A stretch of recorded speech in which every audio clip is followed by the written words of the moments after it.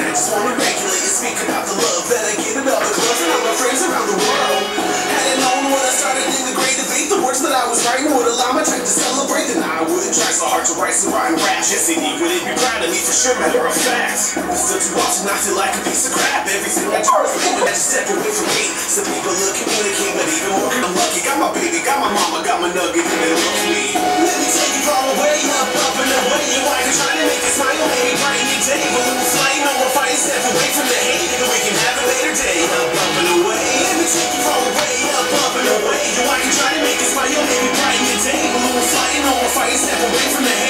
Yeah.